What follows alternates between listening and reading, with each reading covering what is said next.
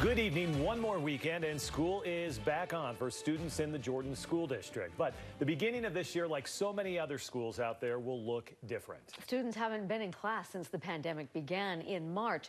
For some, going back's causing understandable concern. News specialist Alex Cabrero is live in West Jordan tonight, where a brand new school is set to open. Alex, you were part of a tour today to see what's going on out there. Right, Danny. This Tuesday will be the first day ever for the new Antelope Canyon Elementary School here in West Jordan in the Jordan School District. There is, there is still some work, though, to be done to get the school ready for opening day. That's kind of normal for a new school. What's not normal, the circumstances and conditions this school is opening under.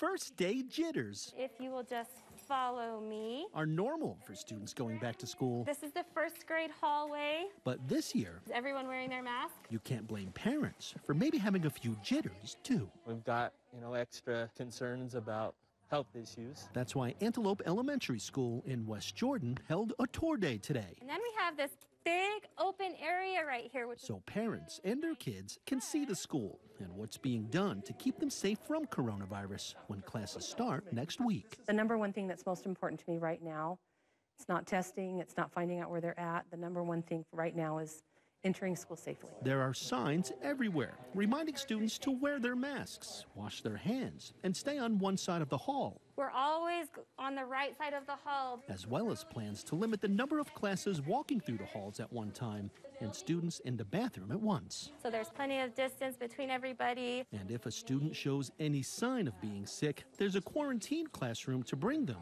while their parents are contacted. I've been really impressed with the school, how they have the social distancing, the numbers. No plan will ever be perfect, and it could change often, but teachers are trying to teach kids and keep all those jitters away for students, parents, and this year, themselves. This is what we do, this is who we are, and we're going to be okay. I really believe that. We're going to be okay. Student enrollment here, kindergarten through sixth grade, is about 600 students. About 100 of those students, though, are going to stay home and do virtual learning.